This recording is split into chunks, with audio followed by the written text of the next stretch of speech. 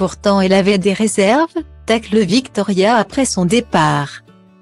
Dans les derniers épisodes de la neuvième saison des apprentis aventuriers, deux binômes ont quitté la compétition. Dans un premier temps, ce sont les Bleus qui sont partis prématurément, avant même la cérémonie des votes. Puis, les Roses qui ont essuyé une défaite face aux Blancs sur l'épreuve du duel. Éliminé depuis l'épisode du mercredi 15 mars, Roman s'est confié en direct sur Tito sur son aventure.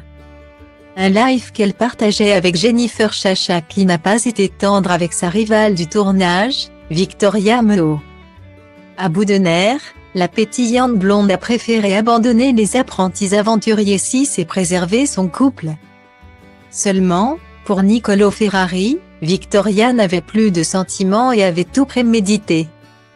Celui qui a été contraint d'abandonner avec sa petite amie, raconte qu'il ne l'a plus revue depuis leurs au revoir à l'aéroport.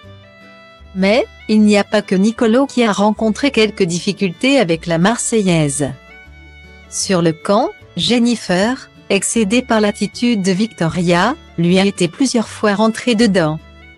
Alors qu'elle l'avait quitté en paix dans le dernier épisode, la binôme de Fabrice n'a pas hésité à la clasher. Dans son live Tito, Roman souligne qu'elle est allée jusqu'au bout de son aventure avec Ando. Contrairement à Victoria qui a préféré abandonner. Dans sa dernière publication Instagram, Vivi justifie d'ailleurs ses crises d'hystérie, j'ai été particulièrement épuisée physiquement et mentalement. Point. Alors, sa rivale se moque en direct, nous, on n'a plus de mental. Pourtant, elle avait des réserves. En découvrant les propos de Jennifer sur son poids, Victoria a immédiatement répondu en story, un petit message pour la bande de gros losers qui parlent de mes copines et moi dans des livres. Ça fait pitié en fait. Faire des livres tous les soirs, passer 30 ans, n'est pas une preuve de réussite professionnelle. Guillaumet. Ce qui m'a choqué, c'est surtout le live de ce soir. Jennifer dit que j'aurais pu rester dans l'aventure. Elle dit si je suis partie, c'était uniquement pour la bouffe, que j'aurais pu rester puisque j'avais des réserves. Point. Parce que j'étais grosse, clairement. Je trouve ça choquant, surtout venant d'une vieille femme comme elle.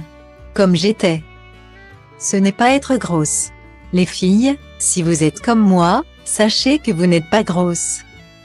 Vous êtes très bien, vous êtes normale. Jennifer, c'est juste une gigantesque teubée qui fout des complexes aux meufs. Parce qu'elle ne doit pas être bien dans sa peau à son grand âge, rétorque Victoria.